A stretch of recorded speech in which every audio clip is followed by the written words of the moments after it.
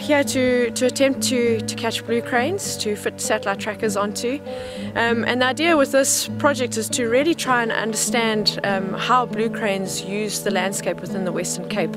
Um, get a glimpse into their daily lives, their, their local, very local daily movements. Um, from the point where they wake up at their roost sites through to when, where they feed, how they move through the day, and then returning back to the roost sites.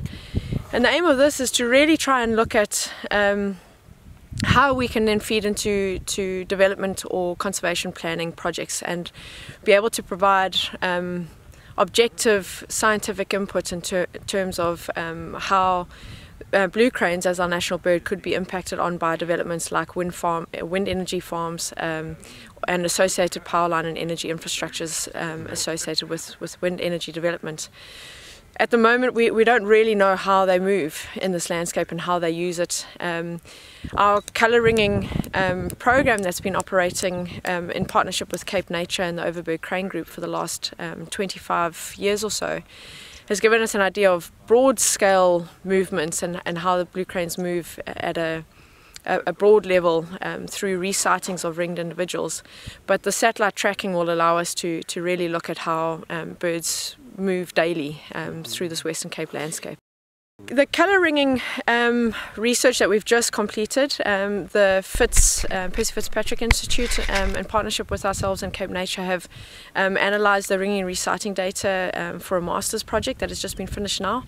And We've had some very interesting large-scale movements, um, particularly a, a, Western Cape bird was resighted in, in Eastern Cape um, towards P Port Elizabeth area. And we have had then sort of movements between the birds in the Overberg, so the area where we are right now, and into the Swartland region, um, which is a lot drier um, and a lot more uh, newer range for, for blue cranes. We're seeing blue cranes moving into the Swartland area in, in more recent times. How does it work? So it's just a noose line. Each noose is a big loose nylon noose.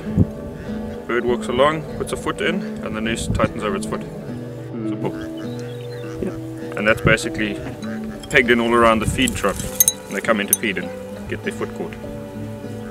The Western Cape holds by far the, the greatest number of blue cranes in South Africa. Um, we estimate more than half of South Africa's population is located in the Western Cape we estimate probably around 17,000 birds. Um, uh, and this area is hugely important for our national bird, but it's heavily reliant on agriculture and, and farming. Um, the birds use a completely transformed landscape um, from the previous fynbos and renosterveld that would have dominated this area. So their um, the sustainability of this population is completely reliant on farmers um, and then people working together um, to, to ensure that um, the habitat that suits blue cranes here, which is particularly wheat and, and the pastures, um, you know, remains that way, and, and, and farmers are, are cognizant of, of blue cranes in their farming operation. Within the, the wheat belt, it's one of the uh, most highly utilized areas within the Western Cape for agriculture. So the natural habitat, we've got roughly 4% of it remaining, which means that uh, most of the biodiversity is highly fragmented and um, under severe threat.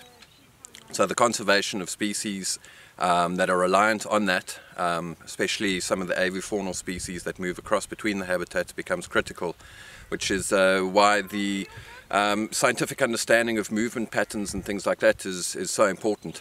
The, the farmers have uh, become very aware of the benefit of conservation uh, to the areas. In South Africa, we've got over 80% of the biodiversity within the country actually sits within private landowners' hands, which means that uh, within this type of area, the critically endangered um, habitat and, of course, the critically endangered species that are reliant on that habitat um, is all uh, within the hands of the, the farmers. Um, so we do a lot of work with them. They are the custodians of it, so they're the ones that uh, have ensured that we still have these uh, pockets of, of vegetation, um, pockets of, of uh, ecosystems in place.